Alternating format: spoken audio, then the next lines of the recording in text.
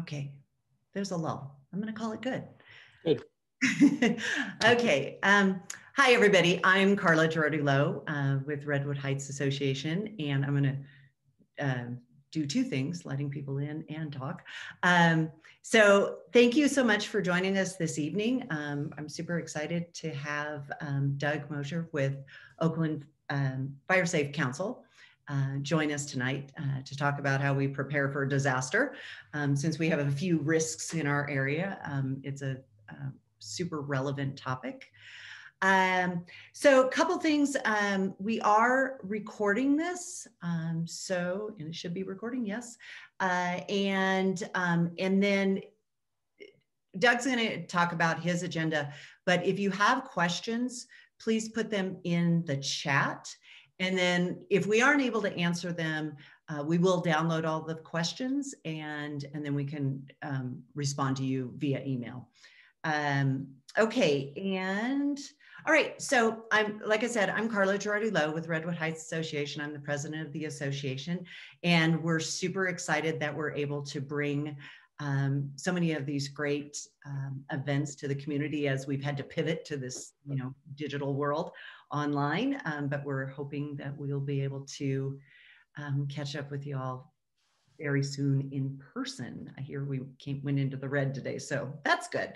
Um, so, you know, we certainly appreciate everybody's support, and we're so glad to see so many community members, even though we can't see you in person. Um, and so, you know, you can always support our work um, at, you know, through our website, you know, making a donation, it's uh, rhaoakland.org. And then also um, the firesafecouncil.org is where um, Doug uh, is with that group and they're, you know, really trying to find ways to, to help protect our communities from, um, from wildfires. So, okay, with that, um, I'm going to turn over this presentation to Doug so we can um, get going and so you can hear what you're here to hear. Um, again, if you have any questions, please put them in the chat. All right, Doug, all yours. Thank you, Carla. Uh, great to see everyone here on a on a thankfully rainy evening. Um, it's it's good. I, I'm I'm liking the rain coming down. So uh, just before I get started, I dropped some links into the chat. These are links that will be in the presentation I'll be uh, providing for the next hour.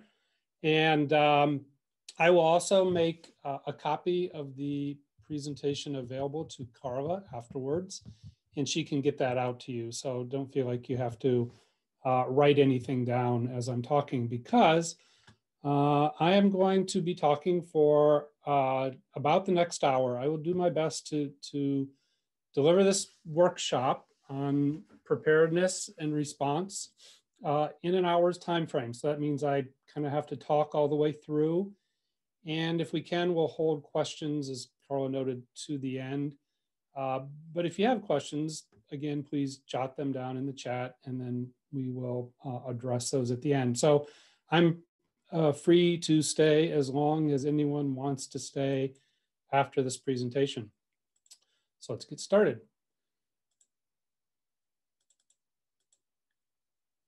Okay, so the topic tonight, of course, is preparedness, uh, the path to safety. And the program that I'm going to be talking about uh, and that is, uh, has created this workshop and other information is called the Oakland Community Preparedness and Response Program. It's a mouthful. So we call it OCPNR, Oakland Preparedness uh, and Response. And what is OCPNR? So I'm going to spend a few minutes just covering that before getting into the, the nuts and bolts of preparedness uh, uh and response.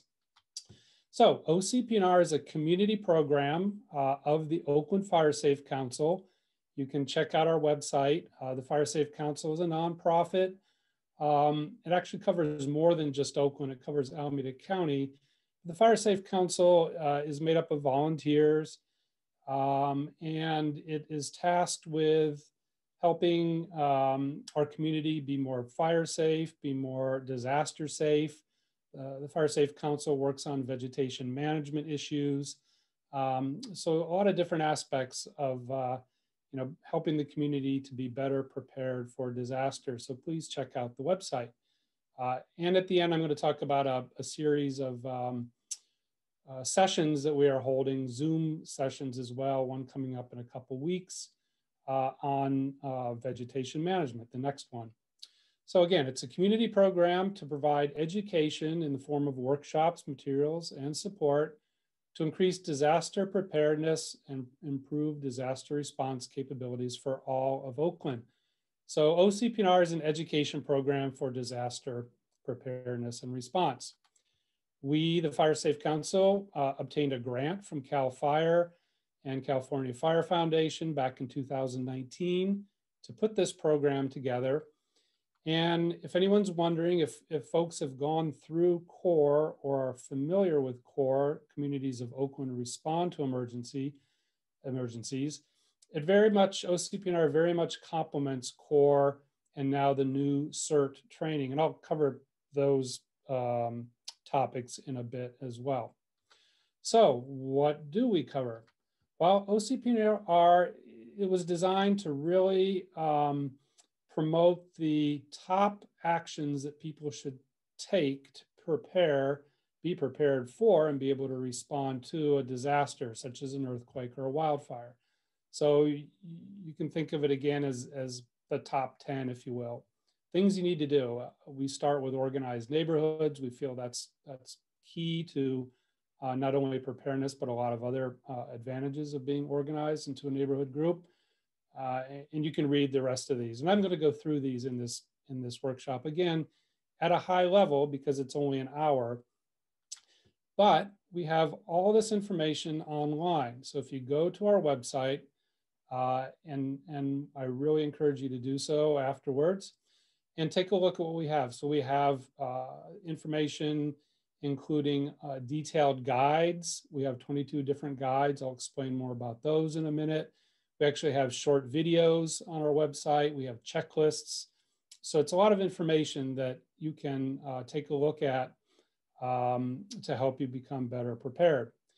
We also created a, a two-way emergency radio network called GenOak, and I'm not going to talk about that tonight, but if you're interested in it, uh, there is the website, uh, and we have a lot of folks in Oakland that are participating in, in this network to uh, connect neighborhoods, neighborhood groups, so that people can communicate with each other uh, during and after disaster.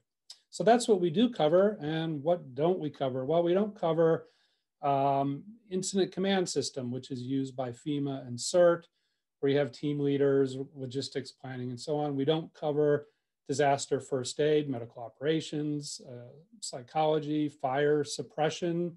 We don't cover search and rescue, terrorism, and security. So um, those uh, topics and more are now covered uh, in Oakland's new CERT training program. So CERT is Community Emergency Response Team.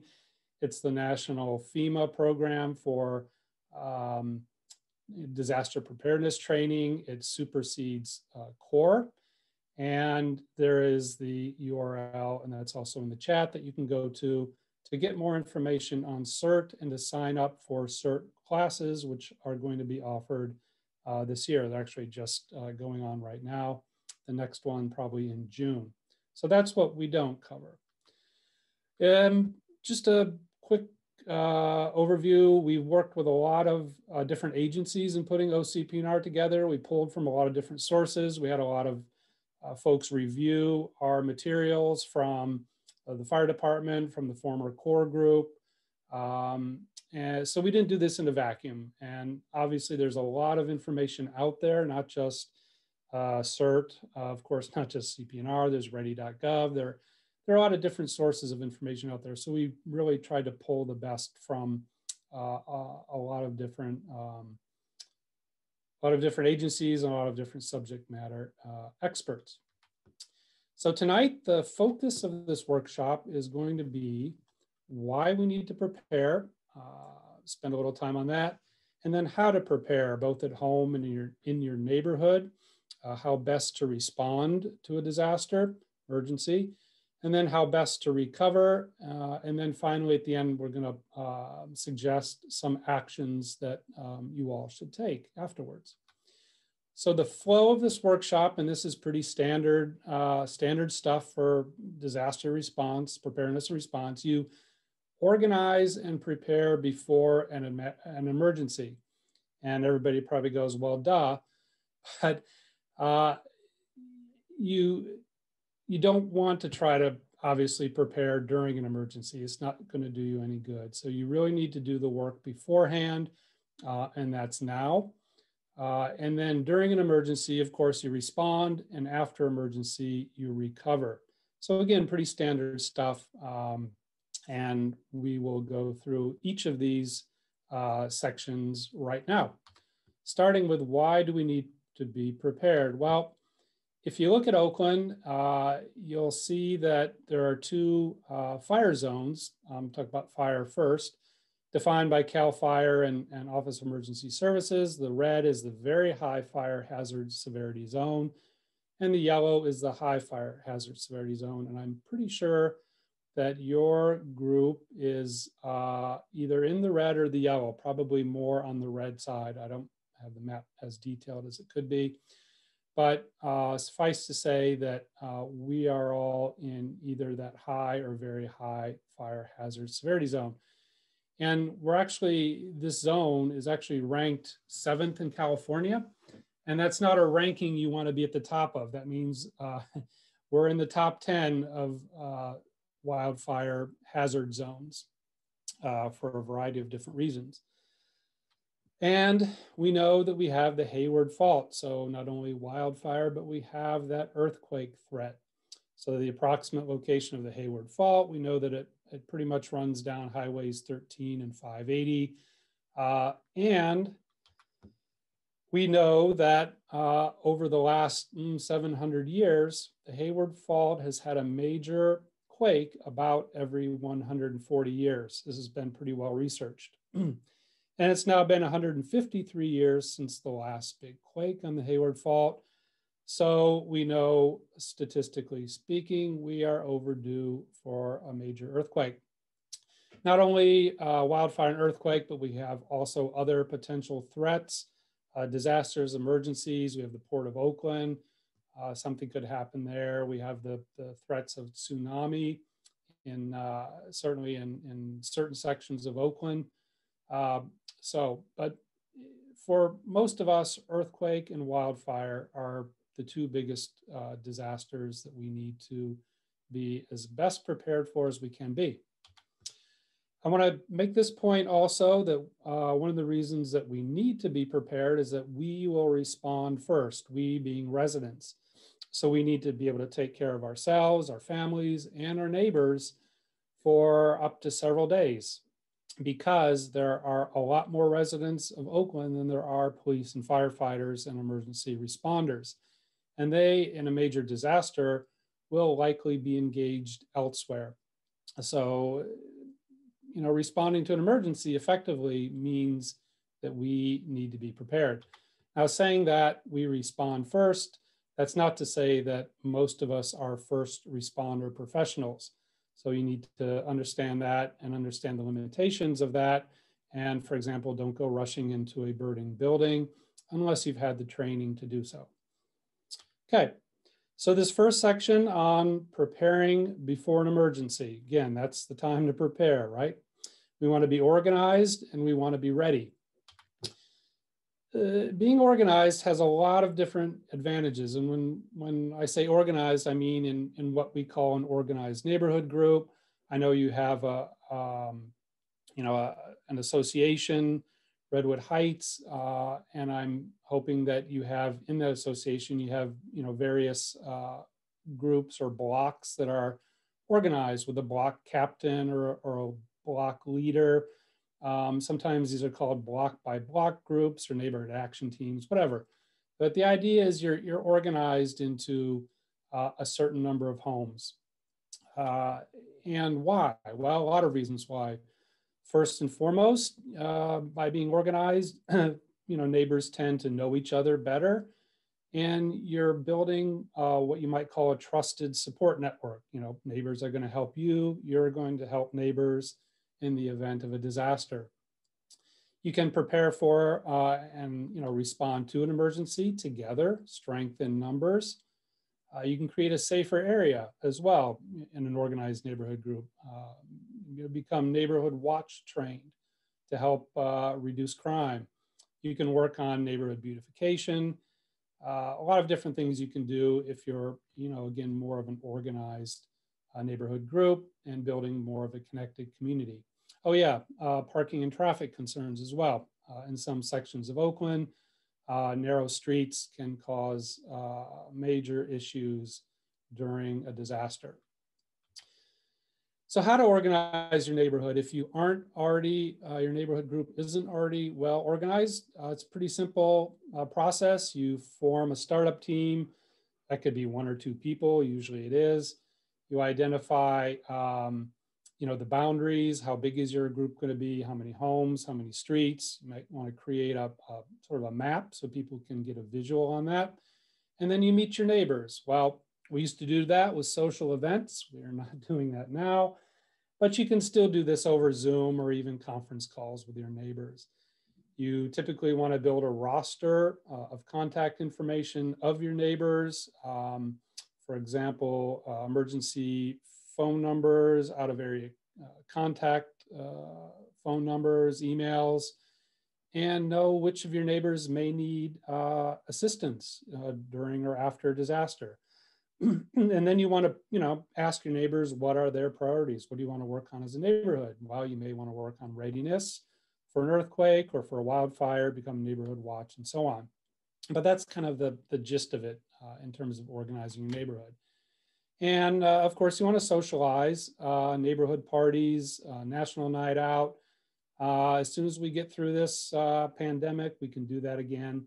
and again, it's a great way to, to know better know your neighbors and, and you know, again, uh, build a, a, more, more of a community. We have these guides, as I noted, on our website, OCP on our website. Our guide number one is called Neighborhood Organization. So uh, we really hope you take a look at that uh, and provides more, you know, more detailed information about um, the, the steps that I just discussed. So let me talk about our guides and our web website for just a moment.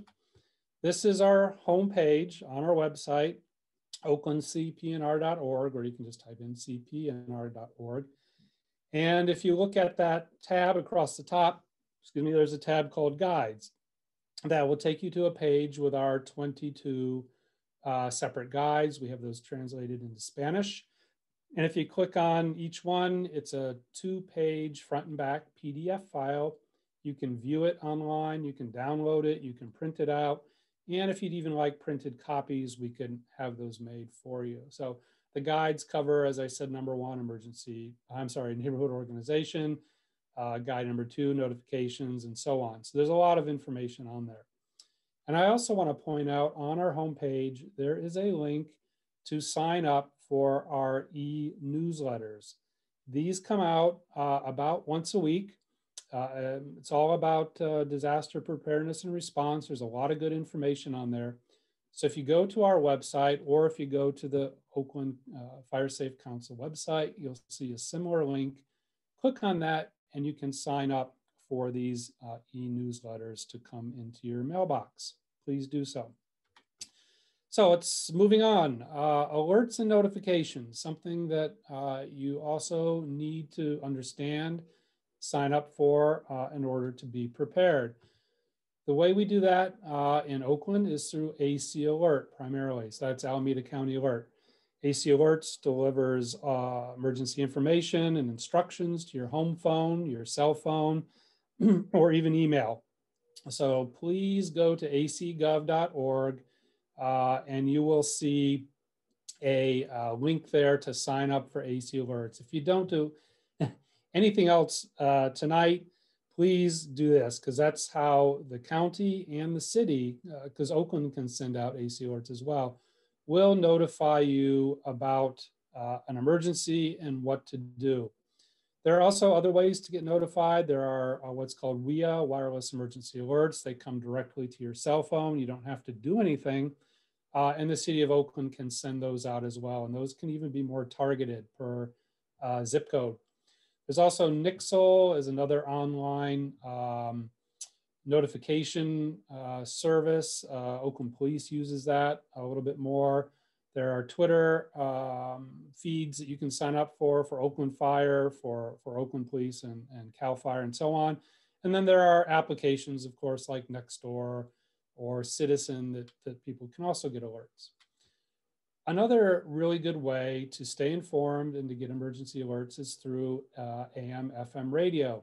Remember those old transistor radios? Well, if you don't have one, uh, it's highly recommended that you get one, battery powered radio. And uh, write on a piece of paper, tape it to the back. Uh, the station's 740 AM uh, and 88.5 FM. Those are emergency alert system radio stations, and they will broadcast emergency alerts during a disaster, during and after disaster. So uh, radios are, are still a very useful way to get information and should go without saying, but uh, follow all instructions that are provided in these alerts and uh, by police, fire, or other emergency responders. Uh, watches, warnings, and orders. So I'm not going to go too much in detail about this, but there are basically two fire weather uh, warnings or notifications that come out uh, from the city of Oakland, from the Oakland Fire Department, from, from uh, Alameda County. And those are the fire weather watch, which means prepare for a wildfire. Conditions are such that within the next, I think it's 72 hours, uh, there could be, um, uh, you know, the chance that a wildfire could occur. And then the red flag warning, which I'm sure we've all, all heard before. A red flag warning, I believe, is in the next 24 hours that conditions are such that the chance of a, of a fire is very high. And what that usually means is very low humidity, uh, wind, and uh, dry vegetation or fuel for a fire. So those red flag warnings, please take those seriously because because those are times, and I, and I know they come out um, fairly often during the fall, uh, almost too often sometimes, but please uh, exercise extreme caution you know, don't barbecue outdoors and be ready, be ready uh, because those again are, it's, signal, it's signaling that the conditions for wildfire uh, are extreme. There are also evac evacuation warnings and orders that may come from AC Alert, that may come directly from fire department or police. You have a evacuation warning, which means prepare. Then you have an evacuation order, which means leave right now. If you hear that order, uh, take heed. Uh, you may receive through AC Alert or hear on the radio shelter in place. That simply means stay put. Uh, you don't need to go anywhere right now. Uh, there are various reasons for that. Um, but again, heed that advice if, if you hear that.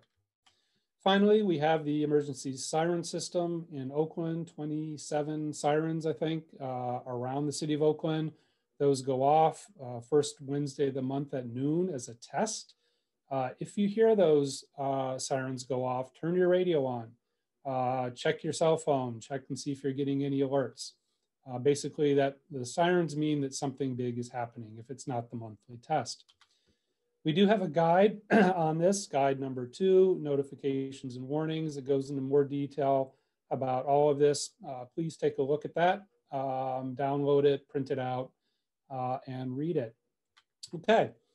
Now I'm going to talk about disaster and evacuation plans. Uh, it's uh, very much recommended that everyone create a uh, disaster or evacuation plan. Things you would want to do uh, for that plan is to understand, for example, evacuation routes uh, out of your neighborhood in every direction uh, that you might be able to take because nobody can um, tell you, the fire department won't tell you, police won't tell you what your uh, absolute evacuation route always should be because nobody knows until uh, an event or disaster is actually taking place. You don't know where uh, wildfire is coming from, what direction it's heading. You don't know if there are trees down, power lines down, blocking your, your exit routes and so on. So you should really know uh, every possible way out by foot, by car, etc. And also uh, take a look around your, your uh, you know, your neighborhood in your area and locate any potential sheltering sites. If, for example, you can't uh, evacuate for, for any reason, a potential sheltering site might be a school, you know, a large concrete building, uh, a large parking lot, a sports field, and so on. So just, you know, take a look at the map and identify those. Uh, have your go bags and your stay box packed and ready to go. I'll talk about that in a minute. Uh, again, we said this already. Know which neighbors may need help um, and have some plan to assist them. If it's your next door neighbor, uh, has, for example, mobility uh, challenges, um, you know, work with them and let them know that you will be available to help them, and as well as a couple of other neighbors uh, during and after a disaster have a checklist of items. This is part of your plan. Uh, you can't wait until you're told uh, you have 10 minutes to evacuate to try to think of everything you want to grab. So have this already written down, you know, the locations, what you're going to take, uh, and in a place that you can grab that checklist um, and act on it.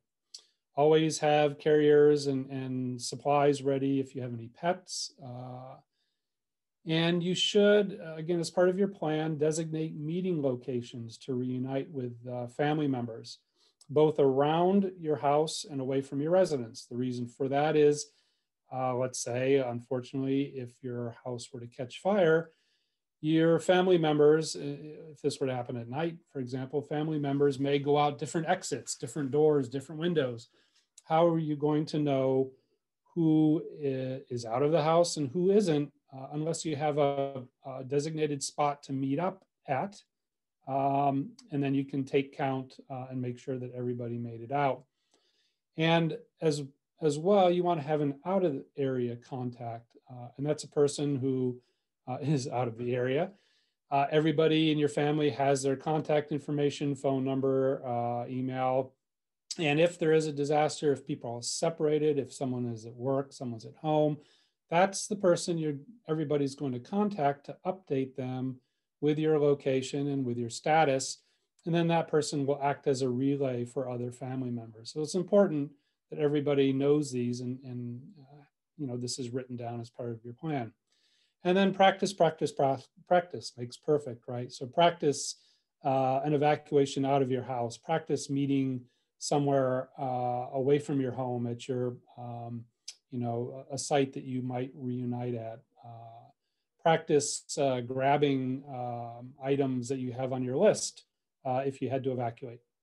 So we do have a guide. It's our guide number five, evacuation planning off our website. Please take a look. Okay, I'm going to talk briefly about go bags. I'm sure everybody has heard of these. The um, purpose of a go bag is to uh, basically give you items that you may need for one or two days uh, that you could quickly grab, uh, for example, if you had to evacuate. Uh, here are some uh, possible items to have in your go bag. We uh, have mm, you know, more on our website, uh, and there are certainly a lot of other go bag lists out there.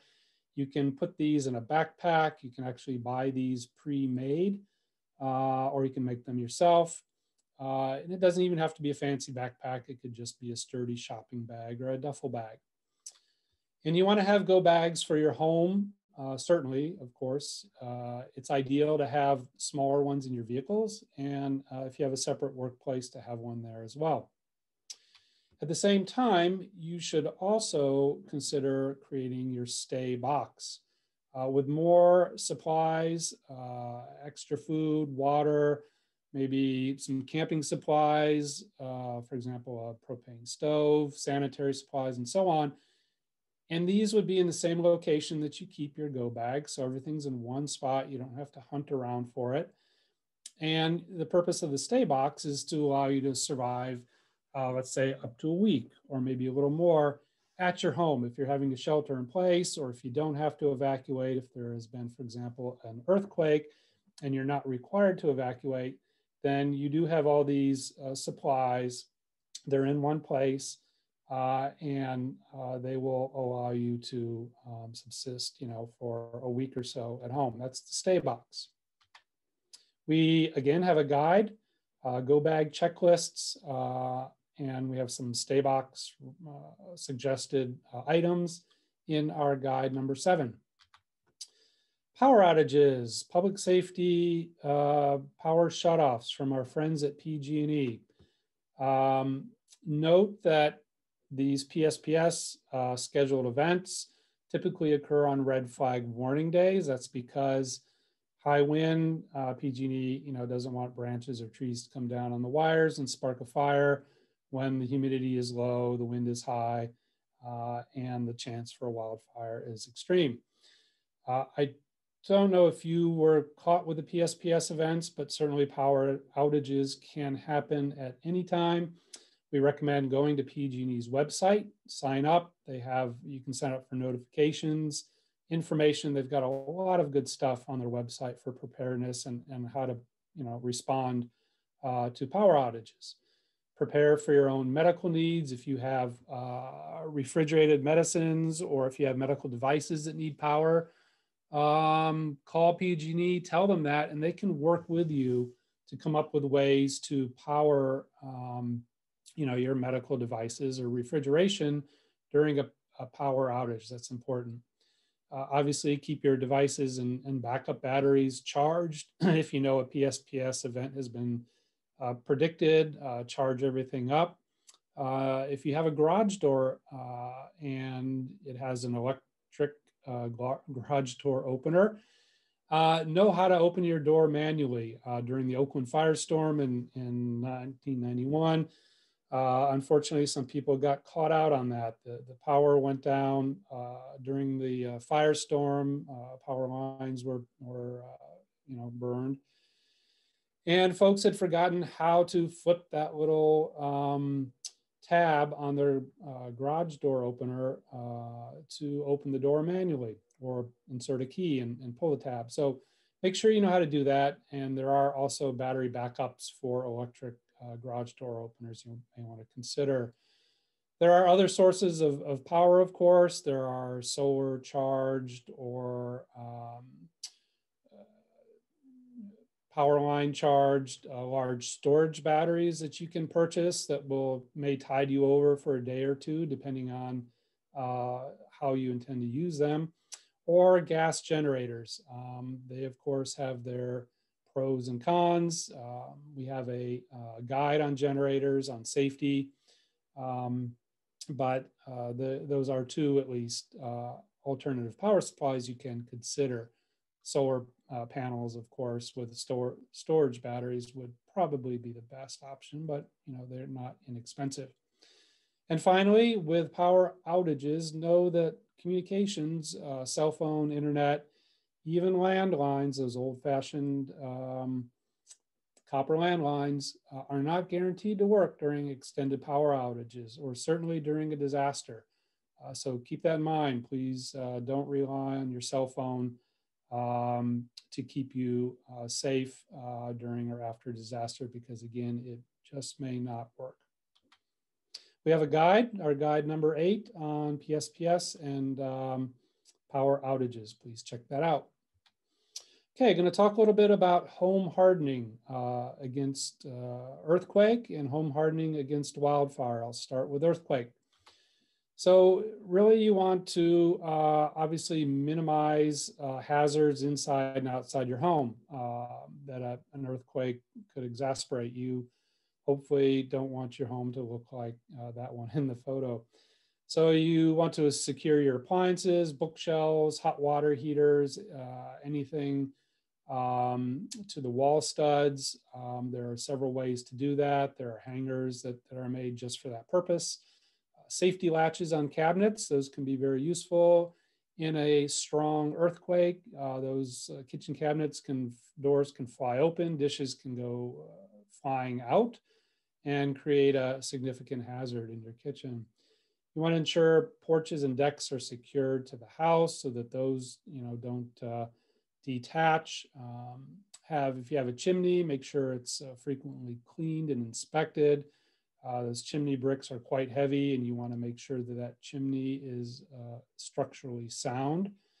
Uh, you want to label your utility shutoffs, uh, mostly gas and electricity, and also water, uh, outside. Um, and consider installing an auto seismic gas shutoff valve if you don't have one. I don't unfortunately have time to talk about that tonight. And there are, again, pros and cons with these gas shutoff valves that will automatically shut the gas off into your home uh, during a fairly large earthquake, magnitude 5.3 or greater, I believe. Um, and the advantage to that is if you're not at home and you have uh, a gas line in your house that's cracked or broken or a, a large uh, appliance that shifts and breaks the gas line, no one's home to shut your gas off, your, your home starts to fill up with gas. Um, that's not a good situation. So again, uh, but there are cons to the uh, gas shutoff valves as well. And lastly, uh, if you have a, a, house that's you know more than 30 years old or so, you may want to have it inspected by a contractor or an engineer certified in seismic work and consider recommended seismic upgrades such as bolting the sill plates to the foundation, adding uh, bracing, uh, shear walls, and so on. Those are typically not inexpensive, but again, uh, a home is for a lot of people um, certainly a very large investment. That's earthquake. Uh, we do have our guide number 10, home hardening on earthquake. It has these tips and more. Please check that out. Okay, I'm to shift a little bit to uh, wildfire and embers. I'm going to show a video here from the Insurance Institute for Business and Home Safety on ember danger. And there is no sound on this video, but uh, I'm going to narrate. so this is inside a warehouse with an ember generator throwing embers to a mock-up of a, of a home and you can see what's happening. There there's dried vegetation there's bark mulch right in front of the house. Those embers are starting uh, that material on fire. The fire is spreading. This house has wood siding not too good but uh, you can see the fire spreading there. This fire spreads to a wooden deck. Fire spreads to a fence next to the house. The fence acts as a fire ladder all the way up into the roof uh, and then the house uh, becomes a blaze so the point of that video is to help folks understand how um, insidious and how much of a danger uh, wind-blown embers are. They, embers actually cause the most home fires during a wildfire. Uh, certainly, uh, radiant heat and direct flame contact uh, will also ignite structures, but embers by far cause the most uh, home fires because they can be blown far uh, in advance of a wildfire or a firestorm, even miles in advance. Large flaming embers, um, pieces of flaming uh, materials, and those again uh, can start homes on fire, uh, start spot fires, and, and that's what happens. So, how do you harden your home against that? Well, First, make sure that you have no combustibles uh, within that five foot space around your home. We call that zone zero, some call it zone one. Again, it's the five foot space. So no bark mulch, no dried leaves, no wood piles, no, you know, things that are, are going to easily uh, ignite from embers and then transfer that flame to your home. It doesn't mean you can't have plants if the plants are, you know, low uh, shrubbery, if they're green, kept watered, they don't dry out, you know, that's, that's okay. But again, it's, it's the dried fuels that you do not want around your home. You want to limb uh, tree branches up uh, from the ground that prevents, uh, you know, flames along the ground from working their way up into the crown of trees uh, where they can transfer to other trees. So limb your branches. Uh, you don't want overhanging limbs within 10 feet above the roof. Uh, vent screens. Um, there are a lot of vents on, on homes. There are eave vents. There are crawl space vents. There are vents for your uh, exhaust fan from your kitchen. You want to make sure that those are all covered with a mesh to prevent those embers from getting inside. And they can get inside. Small embers can get inside your home. They can catch your insulation on fire. They can, they can catch other combustibles in your home on fire. That happens. You can cover those screens with a 1 8 inch metal mesh that you can purchase and cut and, and attach as in this photo. You can even buy uh, replacement vents that are purposely uh, designed to not allow embers inside. They're a little bit more expensive, but they are effective. You want to make sure you don't have any flammables on or under porches or decks. Uh, fences, you should have, if you have a wood fence, you should do whatever you can uh, to have a non-combustible section uh, up against your house. So that may be brick, that could be metal as in this photo.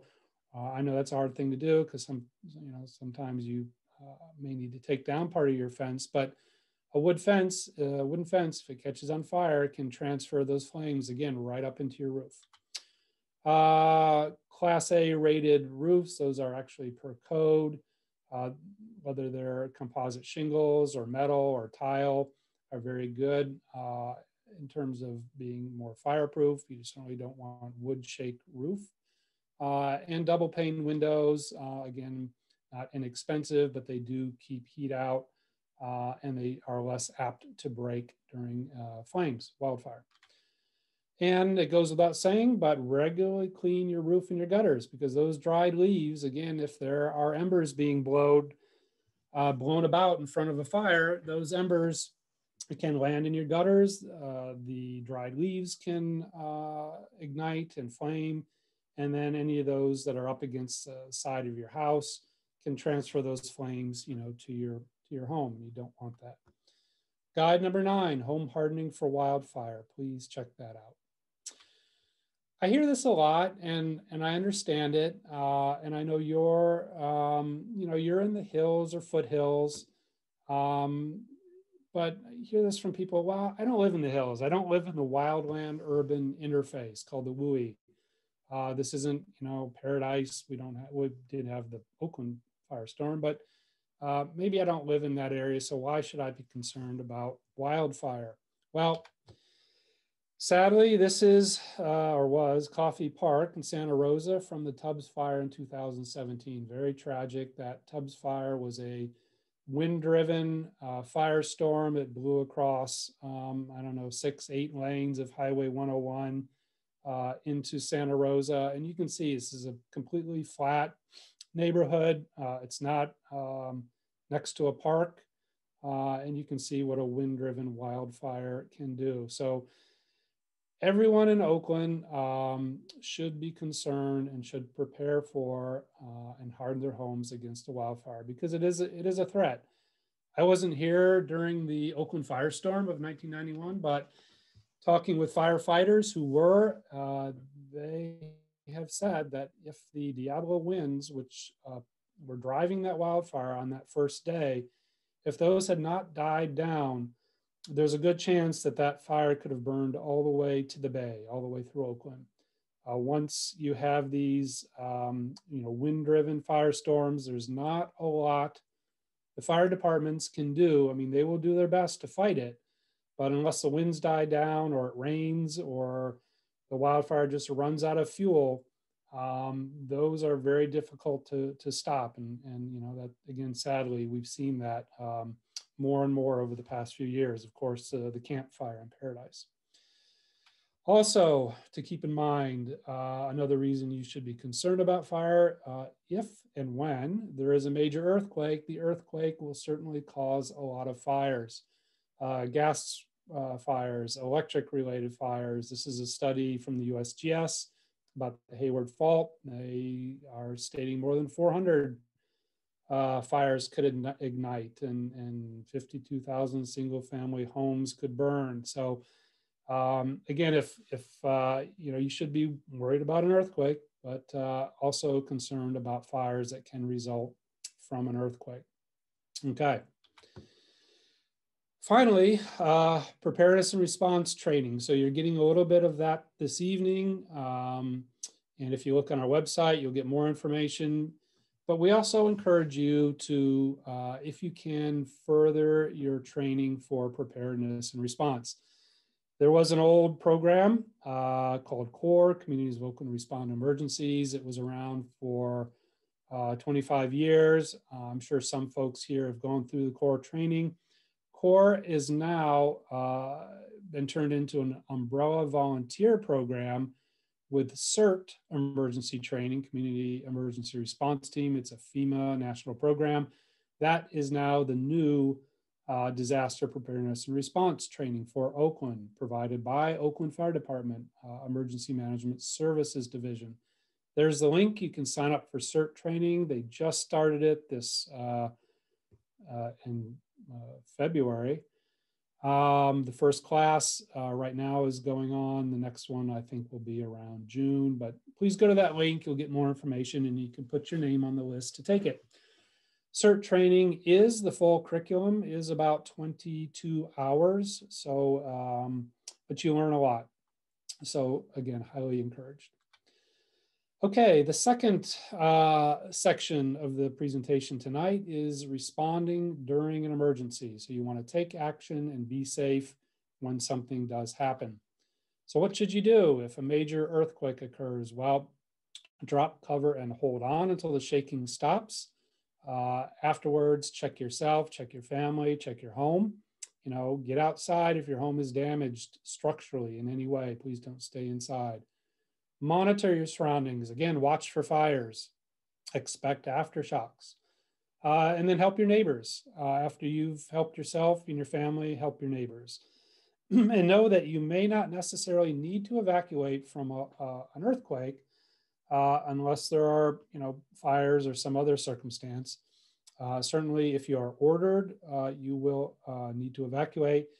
And if at any time you just don't feel safe uh, or you have the ability to, to get out and go uh, to a safer area, please do so. Don't wait. What should you do if a wildfire approaches? If you see smoke, you, you hear, smell smoke, you see flames, you hear sirens, monitor your uh, AC alerts, your cell phones, monitor your AM, FM radio. If you have a two-way radio, uh, turn that on and then certainly monitor your surroundings. If you are ordered to evacuate, uh, do so. Uh, don't wait, don't stay. Don't be the person standing on the roof of that house trying to fight that fire with a garden hose because it's not gonna work. Uh, and again, if you feel unsafe at any time, uh, also just go. when in doubt, get out. Uh, help others in your neighborhood if possible as you're uh, leaving or as you're evacuating. Uh, and uh, in general, uh, during an evacuation, the experts say it's usually best to remain in your vehicle. Uh, vehicle will give you some protection from, from flames. Um, but again, you also may want to look for a refuge area if you are just totally trapped and you can't get out and you have uh, flames coming at you. It's a tough, uh, it'll be a tough circumstance. Evacuations, uh, again, follow all orders and instructions and follow your written plan. You have that evacuation plan. Monitor uh, for information, have your animals secured, uh, bring them with you if you have to evacuate. Don't leave them behind because you may not be able to go home for a while. Uh, when, a, when evacuating, again, monitor your surroundings, uh, assist your neighbors, uh, take one vehicle or carpool, try to reduce uh, traffic, reduce congestion on the roads. again, remember all your possible ways out because the most, you know, the most obvious way, obvious way uh, out of your neighborhood to a, a, large major road or a highway, which is where you want to head. Um, the most obviously way will probably be your best way, but again, it may not. It may be blocked. So no uh, other ways that you can get out. Again, if all your escape routes are blocked, uh, you have to uh, leave your vehicle, uh, look for a, a, secure refuge area. Note that schools will protect children. That's when kids were in school, uh, but uh, schools will shelter children in place. Schools are generally pretty hardened and relatively fire safe areas. Uh, and this is probably easier than said than done, but remain as calm as possible um, during an evacuation, during a disaster. Again, we have a guide, guide number six, emergency evacuations. I'm going to spend a few minutes on recovery. This is the third and the last section uh, of this workshop. So recovery after an emergency. So so shoo, it's over. Uh, you want to be aware, you want to be helpful, and you want to be safe after a disaster. First thing uh, you want to do uh, when you can, obviously, first thing is breathe, uh, recompose yourself, uh, and check yourself for physically uh, and emotionally as well. Um, you want to evaluate your family's health and well being. So it's the order is generally yourself, your family, and then your neighbors. But you want to make sure everybody's accounted for, everybody's safe and secure. You want to then check your home for unsafe conditions. If your home or your residence, if you're in an apartment, looks like that, anything like that, please do not go inside. That is unsafe structurally.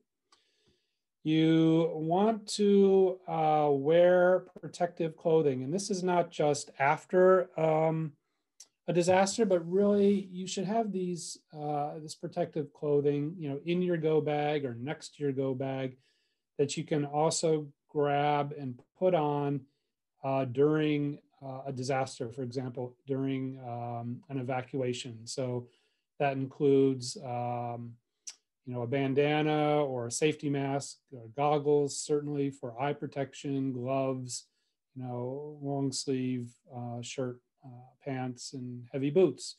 Those are all designed to pr protect uh, protect yourself from uh, a lot of different things that can injure you.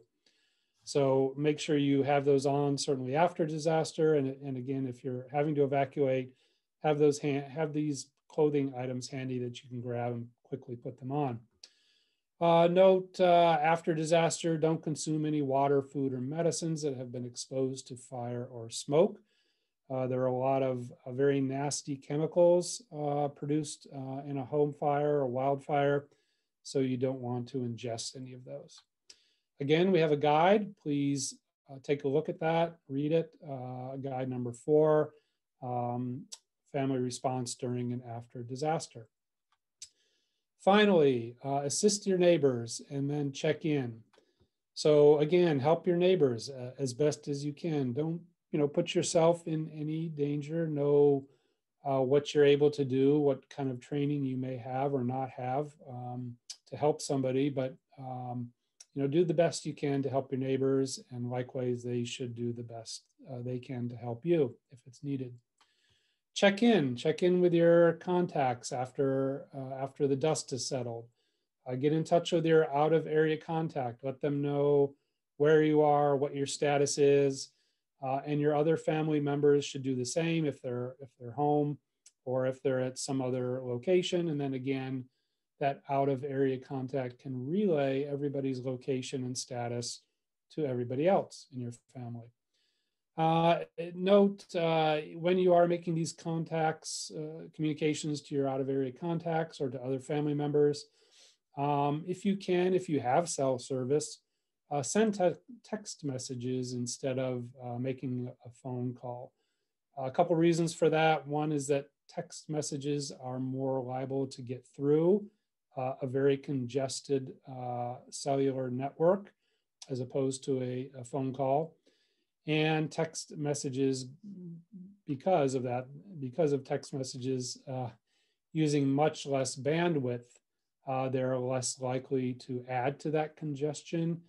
Uh, and then another good uh, reason to use texting when you're when you're communicating is that you have a written record of what was said. So if someone was able to text you and they gave you the address of where they were, maybe a family member got stuck when they were out shopping when, when something happened, you have that address, you have a written record of it, uh, and you, you are you know, not liable to forget it uh, if they had told that to you over the phone.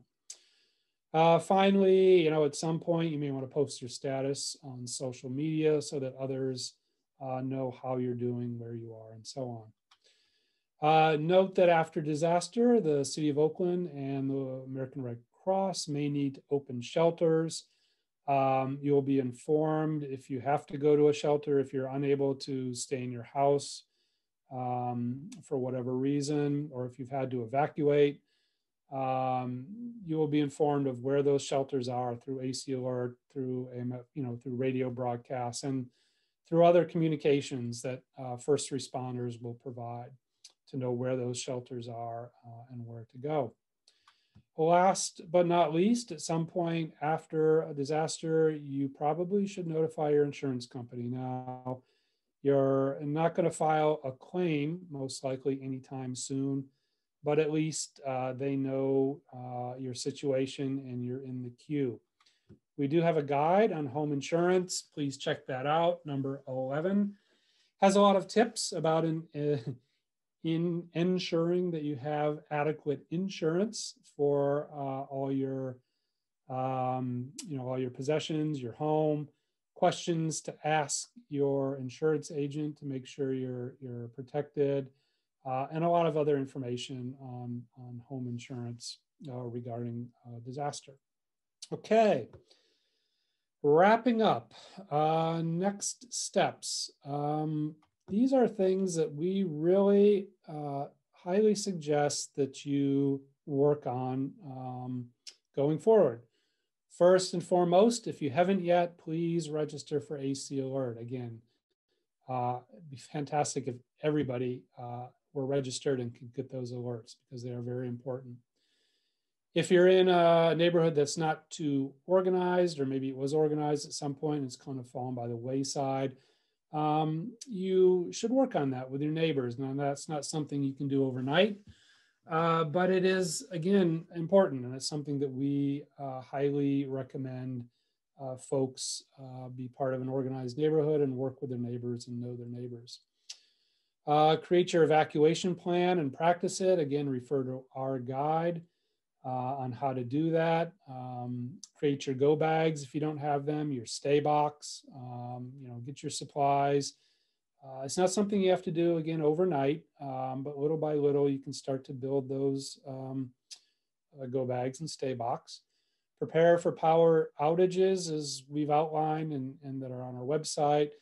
And then take the steps um, to harden your home against earthquake and wildfire, knowing that you know some of those steps uh, are very easy and very inexpensive um, other steps may be, you know, more time consuming or more expensive. So you just have to pick and choose which ones you can do.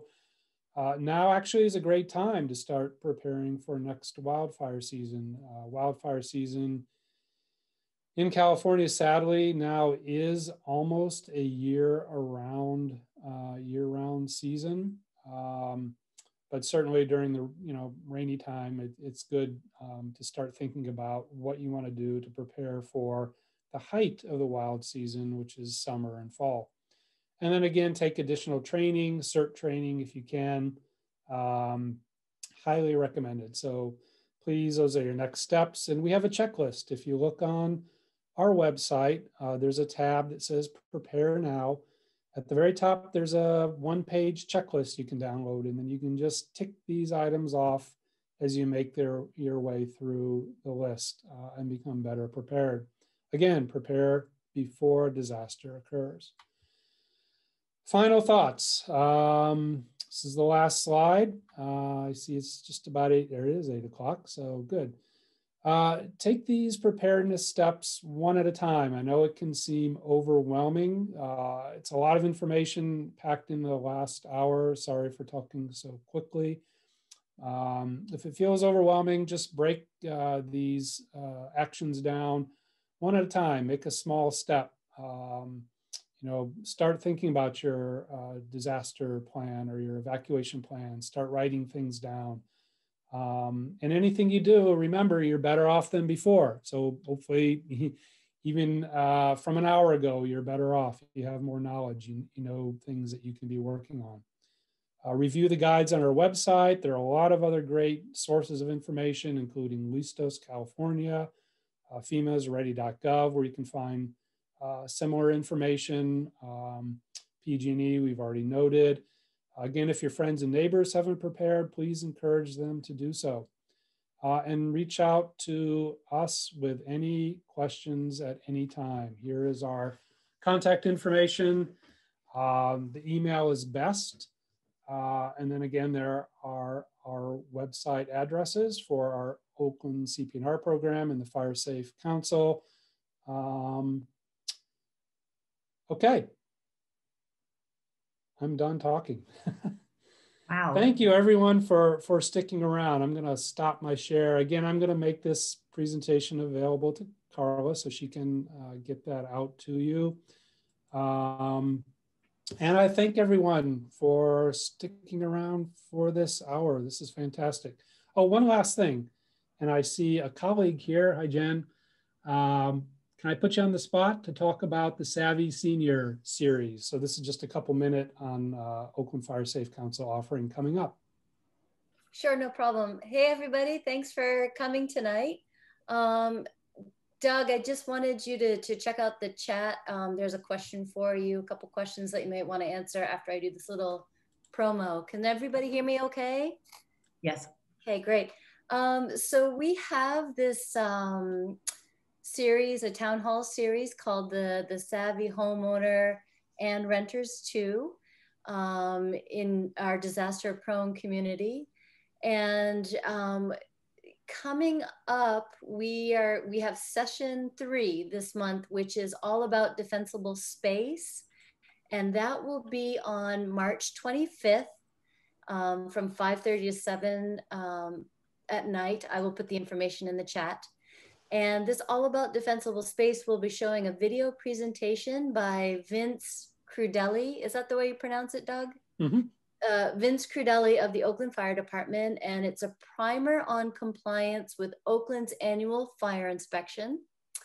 And then after that video presentation, Travis Hanson, who is the acting supervisor of OFD Vegetation Management Unit, will be um, our guest speaker.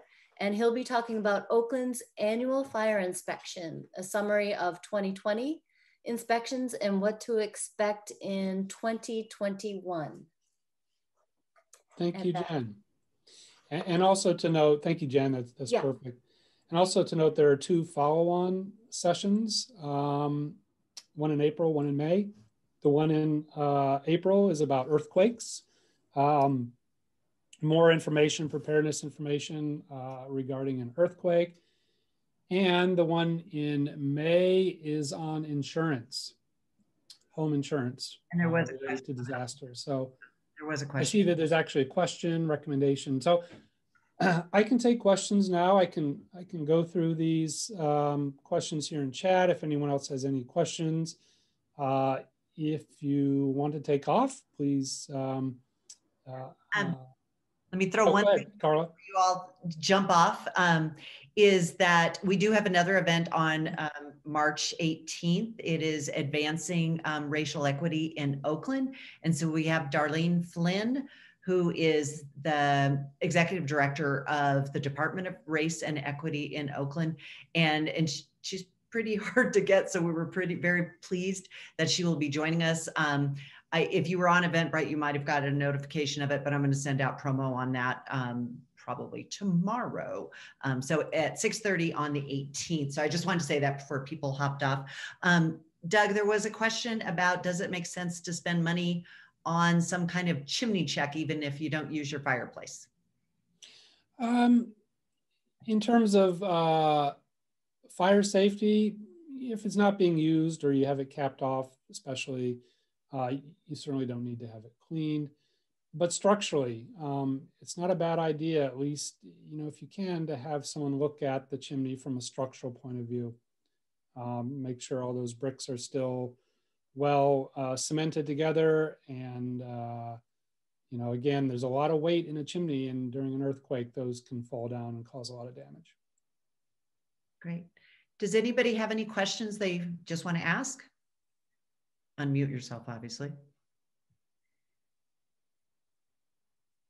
All right. I, I have something else to plug on Yeah. behalf of the city of Oakland. If anybody else, uh, if nobody else wants to say anything. All right, go for it. Okay. Um, the city of Oakland is also holding town halls, virtual town halls about disaster preparedness. And um, they're talking about the local hazard mitigation plan and the reactivated CERT program that Doug had touched on in his presentation. And then also just general preparedness. And they're really trying to reach all uh, Oakland communities. And it's a little bit of a challenge, um, but uh, so we're just trying to get the, the, word out there to as many people, Oakland residents, eh, because it um, disasters affect everybody in Oakland. So I'm going to throw up that information as well. Thank you, Jen. And my bad, I, I, didn't introduce Jen very well. Jen is on the Oakland Fire Safe Council, uh, has worked uh, on the OCP&R program since day one, and uh, is works on marketing outreach, produces the fantastic e-newsletters that go out, um, and just does uh, a lot of great work um, in creating our OCP&R program. Thank you, Jen. Um, one other thing from the association, I, I see Gretchen. So um, the uh, EBMUD uh, follow up is April 20th, I think it is. Um, I will confirm, but I'm fairly sure it's April 20th. Um, so yes, so that is scheduled. So just so you know, I know that that bunch of folks are, are looking for that. All right. That anything else? I did see a question about earthquake insurance. Um, yeah, that's a, a, a topic that comes up, and and um, again, our uh, Savvy series from the Fire Safe Council, the one in in May, will be about insurance. Um, and the link that was provided by Jen, uh, UP Help, uh, is a good resource to to check out. Um, United Policyholders, they're a nonprofit. It sounds like an insurance company. They're not. They don't sell you anything. They help you with insurance uh, matters around home home insurance. So it's a good it's a good resource to take a look at. Great. Looks like there's another question. Um, fire and smoke hazard. Is there any info recommendations, alert systems? Um, which level of filtration to consider with PurpleAir versus AirNow? Any, et cetera, any other choices? Yeah, I'm trying to find that. um, Oh, here we go. Uh, yeah, it's interesting. There was actually a, on TV5 uh, on Friday, there was a segment on um, a hazard, probably you saw that, uh, about wildfire smoke. So it certainly is a hazard. We haven't really addressed um, filtration units um, in OCP&R yet. Um, and I don't really have a lot of good information on it, but uh, if that's something uh, someone, people are interested in, we could do some of that research and provide you uh, with more information. Certainly there are a lot of uh, sensors out there like PurpleAir or, or others that will measure uh, particulates in the, in the air and smoke and, and you can see what it is around your area from others. Um, but yeah, it's something to certainly smoke particulates are, are uh, very hazardous to one's health uh, and you want to pay special attention to protecting yourself from them. Great, thank you. All right, anybody else? Either chime in or chat. if not, we will wrap this up. Any questions? You know what? You covered so much material that I know I have so much work to do. Um, and so I'm really looking forward to getting this um, presentation because it will help everybody. And the checklists, you know, I love that the checklists go with the different pieces. So um, I hope everybody found this really helpful. Doug, thank you so very much. Thank yeah, you. are welcome. You're uh, welcome. Thank you, everyone, for for uh, spending the time this evening. Yeah, and and we're oh, Jen, thanks for uh, ma managing the chat. That was a great surprise. so, all right. Thank you so much. Everybody stay safe and um, we'll hopefully we'll see you soon. Yeah, thank you. Any questions, you. let us know. Thank you. Sign up for our newsletter. all right. Thanks, Doug. Okay, you're welcome. Thank you, Carla, for organizing this and absolutely setting everything up. Very much appreciated. Doug, this was really terrific. Thank you so much. Yeah. So welcome. All right, folks. Good night. Good night. See you soon.